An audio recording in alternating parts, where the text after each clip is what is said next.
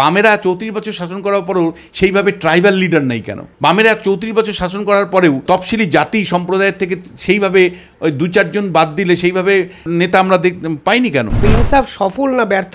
এখনও পর্যন্ত বলার কি সময় এসে এবং আপনি পুরো বিষয়টা কীভাবে দেখছেন? চব্বিশের নির্বাচনে তৃণমূল কংগ্রেস কংগ্রেসের জোট হলে কিন্তু আমি মনে করি যে বামেরা বাড়তে থাকবে এবং তাদের রাজনৈতিক ভবিষ্যৎ অনিশ্চিত হবে অন্তত চব্বিশের নির্বাচনে তো বটেই। বামেদের কিন্তু অভিমুখ ঠিক করতে হবে। মানে এটা কিন্তু ভোটারদের কাছে প্রায়ই কনফিউজ হচ্ছে। যে তারা কাকে অপসারণ করতে চায়? পশ্চিমবাংলায় তৃণমূল কংগ্রেসকে না বিজেপিকে? অনেক সময় তারা বলে না আমরা একই সাথে দুজনকে অপসারণ করতে না হবে না। আপনাকে প্রথম টার্গেট একটাই নিতে হবে। আমার অ্যাসেসমেন্ট এটা একান্ত একজন বিশ্লেষক হিসেবে অ্যাসেসমেন্ট বামেদের রাজনীতির চারটে ভিত হতে হবে। শীতকালে সুন্দরবন ভ্রমণের নির্ভরযোগ্য একমাত্র নাম সাগর সঙ্গম ট্রাভেলস। নিজস্ব লঞ্চে ভ্রমণ এবং অফুরন্ত খাওয়া দাওয়ার বিপুল আয়োজন। বুকিং করুন nine seven double three zero double six zero seven five.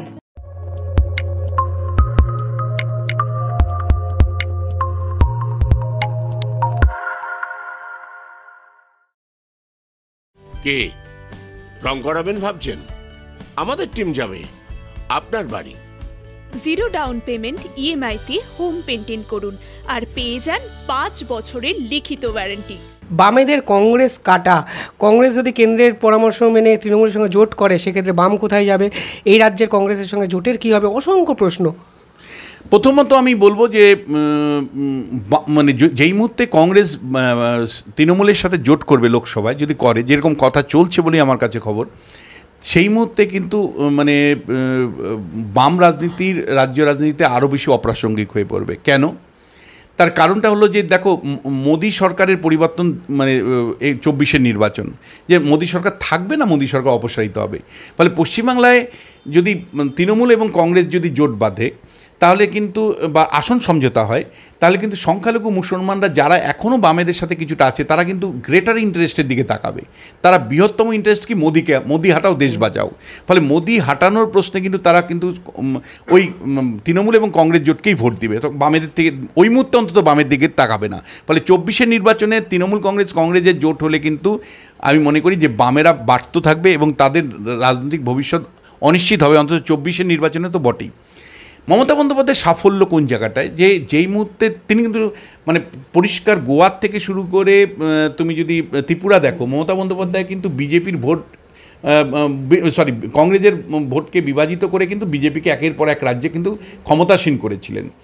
কিন্তু তারপরেও যেই মুহূর্তে জাতীয় রাজনীতিতে এটাই নমনীয়তা থাকার ফলে বা ফ্লেক্সিবিলিটি হলো তৃণমূলের মানে বলা যায় যে একটা শক্তি, সেটা নিয়ে তুমি সমালোচনা করতে পারো, কিন্তু দ্রুততার সাথে সিদ্ধান্ত, যেটা বামেরা পারে না, তৃণমূল দ্রুততার সাথে সিদ্ধান্ত নিয়ে বুঝতে পারল যে পঞ্চায়েত নির্বাচনে যে আঁচ পাচ্ছি, মুসলমানদের একটা অংশ কিন্তু বিশ্বাস করতে শুরু করেছে যে তৃণমূল কংগ্রেস কিন্তু বিজেপিকে মানে কেন্দ্রে রাখতে পারে।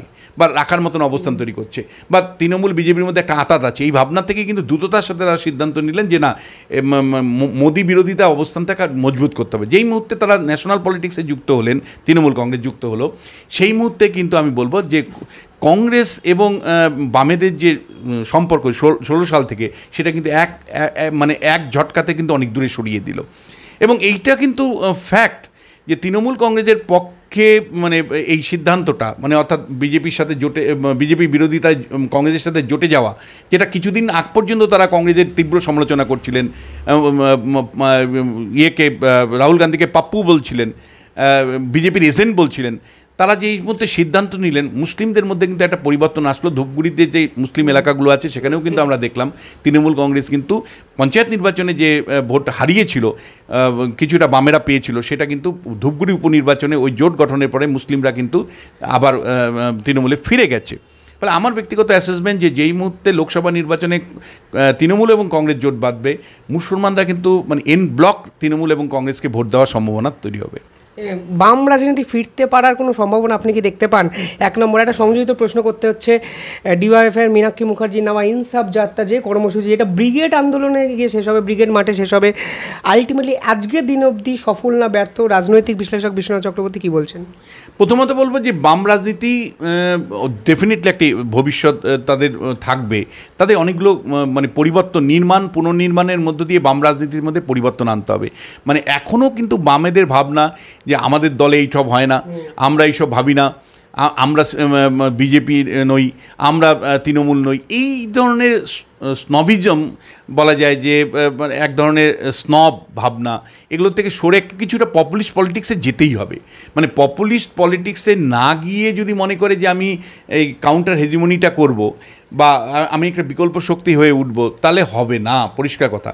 এবং এক্ষেত্রে আমি তোমাকে বলব যে, একটা হলো ভিজিবিলিটির কথা আমি বলছিলাম, যে দলটাকে ভিজিবল করো। ধরো দক্ষিণ চব্বিশ পরগনা ওই ঘটনার পরে ইমিডিয়েটলি তুমি যদি একটা মিছিল করতে সারাদিন কিন্তু টেলিভিশনে ওটা দেখাতো। ফলে বামে বাম মহিলারা নেমে গেছে রাস্তায় এইটা ভিজিবল হতো। এই ভিজিবিলিটিটা বামেদের নেই পরিষ্কার কথা। দ্বিতীয় যেটা হলো কুইক রেসপন্স তারা করতে পারে না। কোনো ঘটনা ঘটে গেলে অনেক পরে লোকাল কমিটি জোনাল কমিটি মানে ডিস্ট্রিক্ট কমিটি করে করতে হয়। এটা আর দ্বিতীয় একটা সমস্যা। তিন তৃতীয় যে বলব যে আন্দোলনে যেতে হবে কর্মসূচি পালনের পরিবর্তে আর একই সাথে আমি তোমাকে বলব যে বামেদের কিন্তু অভিমুখ ঠিক করতে হবে। মানে এটা কিন্তু ভোটারদের কাছে প্রায়ই কনফিউজ হচ্ছে যে তাদের মেন টার্গ তারা কাকে অপসারণ করতে চায়? পশ্চিমবাংলায় তৃণমূল কংগ্রেসকে না বিজেপিকে? অনেক সময় তারা বলে না আমরা একই সাথে দুজনকে অপসারণ করতে না হবে না। আপনাকে প্রথম টার্গেট একটাই নিতে হবে। পশ্চিমবাংলায় যদি আপনি মনে করেন যে তৃণমূলকেই সরাতে হবে, তৃণমূলের মধ্যেই সমস্যার সমাধান লুকিয়ে আছে তৃণমূলের মধ্যেই সমস্যা, সমস্ত সমাধান সমস্যা লুকিয়ে আছে, তাহলে তৃণমূলকে টার্গেট করেই আপনাকে বা তৃণমূলের বিকল্প ভাবনাই আপনাকে রাখতে হবে।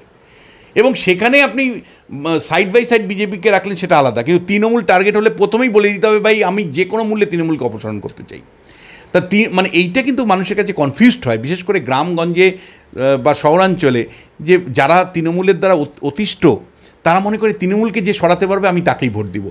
ফলে বামেদের বামরা যখন দুটো রাজনীতি করে একই সাথে, তৃণমূল বিরোধিতা বা বিজেপির বিরোধিতা, তখন কোনো কোনো জায়গায় তাদের কনফিউজ হয় যে আদতেও তারা তৃণমূলকে সত্যি সরাতে চায়। বা নো ভোট টু বিজেপি কথা যখন বলতো, তখন মনে হতো যে বিজেপি তৃণমূলকেই রাখতে চাইছে তারা। এটা একটা দিক। আরেকটা হলো যে অভিমুখটা খুব পরিষ্কার করতে হবে। আমি, আমার অ্যাসেসমেন্ট এটা একান্ত একজন বিশ্লেষক হিসেবে অ্যাসেসমেন্ট বামেদের রাজনীতির চারটে ভিত হতে হবে। একটা হলো ছাত্র রাজনীতি এবং ছাত্র নির্বাচন, গণতান্ত্রিক নির্বাচন এবং ছাত্রদের মানে কাজের দাবিতে একদম আম- আমরণ মৃত্যুর আন্দোলন করতে হবে। এটা একটা দিক। আরেকটা হলো পরিষ্কার মানে আরবান এলাকায় মানে মধ্যবিত্তের যে রাজনীতি, সেটাকে ফিরিয়ে আনতে হবে। মধ্যবিত্ত, শিক্ষিত, বিবেকবান এবং আদর্শগত রাজনীতির যে ব্যবস্থাটা ছিল, সেই ব্যবস্থাটায় বহু মানুষ হোঁচট খাচ্ছে। মানুষ তৃণমূলের কাছে সেটা পাচ্ছে না। লিবারাল ডেমোক্রেসির জায়গাটা, সেইটাকে শিক্ষিত মানুষের হয়ে কথা বলতে হবে। শিক্ষিত মানুষের ভাবনা চিন্তাগুলোকে নিয়ে রাজনীতি করতে হবে। এবং একই সাথে আমি বলব, পশ্চিমবাংলায় মুস- মুসলিমরা হলো একটা তৃণমূলের ভোট ব্যাংকের স্থায়ী ভোট ব্যাংক। কিন্তু মুসলিমদের তেমনভাবে এম্পাওয়ারমেন্ট বা উন্নতি হচ্ছে না। মানে তৃণমূল, মুসলিমদেরকে মূলত ভোট ব্যাংকের রাজনীতিতে ব্যবহার করছে। এই মানে মানে সিপিএমের রাজনীতিতে বা বামের রাজনীতিতে একেবারে মুসলিম সেন্ট্রিক রাখতে হবে। মুসলিম সেন্ট্রিক রাজনীতি যদি বা মুসলিমদের অন্যায়, অবিচার, বঞ্চনার বিরুদ্ধে তীব্র থেকে তীব্র অবস্থান নিতে হবে। সেটা যদি তুমি করতে পারো, তাহলে শহর এলাকার আরবান লিবারালদের কোনো সমস্যা নেই। শহরের শিক্ষিত মানে যারা শিক্ষিত কলেজ বিশ্ববিদ্যালয়ে পড়ে, সাধারণ মানে শিক্ষিত মানুষ, বাঙালি, তাদেরকে তারা মনে করেন যে তারা মানে গান্ধীজির মতন বিশ্বাস করেন যে মেজরিটির দায়িত্ব হলো মাইনরিটিকে রক্ষা করা। ফলে মাইনরিটি যে আজকে ডিপ্রাইভ হচ্ছে, বিভিন্ন জায়গায় বঞ্চিত হচ্ছে, সেই রাজনীতিটাকে কিন্তু ফোকাস করতে হবে। এবং একই সাথে আরবান লিবারাল যারা, তাদের বক্তব্য, ভাবনা, চিন্তাগুলো প্রতিনিয়ত তুলে ধরতে হবে এবং ছাত্র রাজনীতিকে ফোকাস রাখতে হবে। এবং এইটা কিন্তু আমি মনে করি এবং এক এর সাথে সাথে যে ট্রাইবাল এবং schedule caste schedule caste, schedule type tribal, এটা কিন্তু মানে আমি বলব যে কাস্ট পলিটিক্সের অন্তর্গত নয়। শিডিউল কাস্ট, শিডিউল টাইপ এটা ভারতবর্ষে কনস্টিটিউশনাল প্রোটেকশনের আন্ডারে পড়ে হিস্টোরিক্যালি তারা পিছিয়ে থাকা। ফলে তাদের রাজনীতি, তাদের ভাবনা, তাদের চিন্তা নিয়ে কিন্তু বামেরা মানে সেই অর্থে ফোকাস করেনি। না হলে তুমি আমায় বলো যে বামফ্রন্ট এত বছর ক্ষমতায় আসার পরেও তেমনভাবে মুসলিম লিডার তৈরি হয়নি কেন? পশ্চিমবাংলায় ছত্রিশ শতাংশ মুসলমান লোক আছে। বামেরা চৌত্রিশ বছর শাসন করার পরেও সেইভাবে ট্রাইবাল লিডার নেই কেন? বামেরা চৌত্রিশ বছর শাসন করার পরেও তফসিলি জাতি সম্প্রদায়ের থেকে সেইভাবে ওই দু চারজন বাদ দিলে সেইভাবে নেতা আমরা দেখ, পাইনি কেন? ওই কান্তি বিশ্বাসের নাম তুমি বলবে, দু চারজনের নাম তুমি বলবে। কিন্তু সেইভাবে প্রথম সারিতে ডিসিশন মেকিংয়ে পার্টিতে বা সরকার পরিচালনায় আসেনি কেন তারা? বা তুমি তৈরি করতে পারোনি?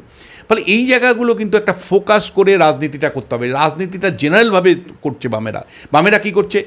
নরেন্দ্র মোদী এই করেছেন, নরেন্দ্র মোদী ওই করেছেন, মমতা বন্দ্যোপাধ্যায় এই করেছেন, মমতা বন্দ্যোপাধ্যায় ওই করে- করেছেন জেনারেল পলিটিক্সের জেনারেল ফোকাস থেকে সরে গিয়ে স্পেসিফিক ফোকাসে আসতে হবে। স্পেসিফিক ফোকাসে কারা আছে? ছাত্র সমাজ। তাদের দাবি দাবা তাদের মানে গণতান্ত্রিক অধিকার, তাদের কাজকর্ম। তারপরে কে আছে? সংখ্যালঘু মুসলমান। তাদের বঞ্চনা, তাদের অভিযোগ, সেগুলোকে নিয়ে কর্মসূচি বলো, আন্দোলন সংগঠিত করা। তফসিলি জাতি, উপজাতি। এবং ফাইনালি যেটা ওভারঅল ফ্রেমওয়ার্ক হবে, সেটা হলো আরবান এলাকায় মানে বাঙালি মধ্যবিত্ত, শিক্ষিত মতাদর্শ সম্পন্ন যারা মানুষ সেই মানুষগুলো চিন্তা ভাবনাকে সঙ্গে নিয়ে রাজনীতি করতে হবে। আমি একটা উদাহরণ দিই বলব যে লাস্ট ক্যাটাগরির আন্দোলনের একটা উদাহরণ দিন ধরো, বাঙালিরা কখনোই চায় না যে কোনো একটা নাটক, কেউ যদি দেবেশ চট্টোপাধ্যায় ব্যারিগেড নাটক তৈরি করছে, সেটা তৃণমূল ব্যারিগেড করে আটকে দিক, এটা কিন্তু বাঙালিরা কোনো মতেই পছন্দ করে না। আমার প্রশ্ন হলো, সিপিএম দলকে একদম পরিষ্কার নাম- নামতে হবে। প্রতিনিয়ত মানে তোমার রবীন্দ্র সদনে গিয়ে মানে আন্দোলন করতে, সংগঠিত করতে হবে। মানে অবস্থান তৈরি করতে হবে যে, ব্যারিগে ব্যারিগেড নাটক বন্ধ হলো কেন? তৃণমূল কংগ্রেস জবাব দাও। মানে একেবারে পরিষ্কার। মানে লিবারাল মনের বাঙালি যারা, তারা কিন্তু চান সংবাদপত্রের স্বাধীনতা থাকুক। বলে তোমার মতন পোর্টাল যখন আক্রান্ত হবে, তখন একদম পরিষ্কার লেপদের অবস্থান নিতে হবে। অথবা মনে করো কোনো একটা কাগজ বা টেলিভিশন চ্যানেল যখন আক্রান্ত হচ্ছে বা কোনো কারও বাক স্বাধীনতাকে যখন হরণ করছে তৃণমূল কংগ্রেস, পরিষ্কার সেখানে অবস্থান নিয়ে পার্টিকে একদম একেবারে খুল্লাম খুল্লাম নেমে যেতে হবে। ফলে লিবারাল মনের শিক্ষিত মানুষরা কী চায়? মুক্ত চিন্তা, মুক্ত ভাবনা। আমাকে ভাই তুমি ভাত না দিতে পারো, কিন্তু আমার মুক্ত চিন্তা করতে দাও। এই মুক্ত চিন্তাই কিন্তু বাঙালি সমাজের পরিচালনায়, পরিচালি মানে মূল চালিকা শক্তি ছিল। সেখান থেকে কিন্তু জন্ম নিয়েছিল ঋত্বিক ঘটক। সেখান থেকে কিন্তু জন্ম নিয়েছিলেন উৎপল দত্ত। সেখান থেকেই জন্ম নিয়েছিল সত্যজিৎ রায়। ফলে এই এই মানুষগুলোর যে খিদা, তার যে শিক্ষার পরিবেশ, তার যে ভাবনার পরিবেশ, সেটা কার্যত তৃণমূল কংগ্রেস এবং বিজেপি হরণ করেছে। ফলে এই লিবারাল মাইন্ডের মানুষদের যে পরিবেশ পরিস্থিতি সেটাকে ফিরিয়ে আনার যে আন্দোলন আমি মনে করি আদর্শগত অবস্থান থেকে লেফটের একটা বড় দায়িত্ব কংগ্রেসের একটা বড় দায়িত্ব। ভীষণ ইনসাফ আন্দোলন নিয়ে একটু আমার শেষ প্রশ্ন নিঃসন্দেহে থাকবে। ইনসাফ সফল না ব্যর্থ এখনও পর্যন্ত বলার কি সময় এসে এবং আপনি পুরো বিষয়টা কীভাবে দেখছেন? না দেখো মানে ইম্প্যাক্ট তো সেইভাবে এখনও হয়নি। তুমি লক্ষ্য করেছ যে সাধারণভাবে এর ইম্প্যাক্ট কোনো পড়ে না। এটা আর পাঁচটা কর্মসূচির মতনই আমি দেখছি। ফলে আমি আবারও বলছি কর্মসূচি এবং আন্দোলনের মধ্যে বিরাট তফাৎ আছে। কর্মসূচি তুমি পঞ্চাশটা লিস্ট তৈরি করলে, গণসংগঠনকে বললে, আজকে মালদার থেকে চাচল পর্যন্ত, কালকে চাচল থেকে গাজল পর্যন্ত এই কর্মসূচি তুমি পালন করতে পারো। তার সাথে সাধারণ ভোটার বা সাধারণ মানুষের কে প্রভাবিত করার কোনো সম্পর্ক নেই। অবশ্যই সত্যি তো, সমালোচনার মধ্যে আছে অসংখ্য প্রশ্নের উত্তর, যা পথ তৈরি করে দেয় আত্মবিশ্লেষণের। বাম নেতারা কি সত্যি আত্মবিশ্লেষণ করবেন? পার্টি পার্টি পরিকাঠামো, কেন্দ্রীয় নেতৃত্ব, এইসব সব এক সাইডে রেখে সাধারণ মানুষের স্বতঃস্ফূর্ততা আদায়ের জন্য কি রাস্তায় নামবেন? এই প্রশ্ন আমার অন্তত থাকল। এবং এই প্রশ্নের উত্তর যে বইতে আপনারা আরও ডিটেলিংয়ে পাবেন, আমরা সেই বই একটুখানি আপনাদের সামনে দেখাতে চাই। দ্বীপ প্রকাশন থেকে প্রকাশিত হয়েছে অধ্যাপক বিশ্বনাথ চক্রবর্তীর পঞ্চায়েত নামা দু যা নিঃসন্দেহে এক রাজনৈতিক দলিল হতে পারে। অন্তত বর্তমান রাজনৈতিক প্রেক্ষাপটে বই সকলে সংগ্রহ করে রাখুন। বই পড়ার অভ্যাস তো চলে গেছে। তার মধ্যে যারা এই ইন্টারভিউ দেখলেন, পারলে বাঁচিয়ে রাখুন। এটা বই নয় এক ইতিহাসের প্রামাণ্য দলিল হয়ে থেকে যেতে পারে আপনাদের ঘরের ড্রয়িং রুমে অসংখ্য ধন্যবাদ বিষ্ণুদা। ধন্যবাদ। আপনাদের প্রশ্ন থাকলে এই কমেন্টে করবেন, আমরা বলে দেবো বই আরও কোথায় ডিটেলিংয়ে পাবেন, কোনো কন্ট্যাক্ট নম্বর আমরা নিঃসন্দেহে এই ইন্টারভিউ ডেসক্রিপশনও দিয়ে দেবো। ধন্যবাদ।